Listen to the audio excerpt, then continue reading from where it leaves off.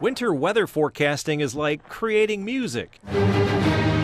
There's Beethoven, the Beatles, and Bruno Mars. You kind of know what you're going to get with each composer.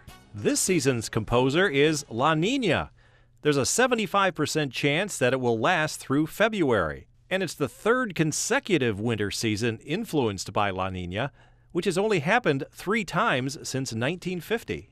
La Nina means cooler than average sea surface temperatures in the Pacific Ocean along the equator west of South America, and that can lead to warm and dry weather over the southern U.S. and cool and wet conditions over the northern U.S. Sometimes a song's volume increases and decreases, in other words, gets louder and softer.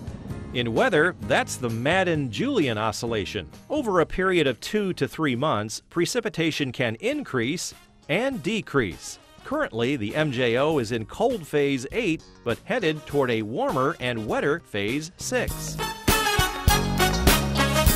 Some tunes have a repeating segment of music, usually called a chorus. Weather also has repeating segments, like the North Atlantic and Arctic oscillations. Currently, both are forecast into the negative phase, meaning colder temperatures for a period of one to two weeks. How about musical tempo? Whether a song is fast or slow.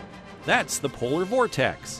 When cold air is locked up at the pole, the weather patterns are slow and steady.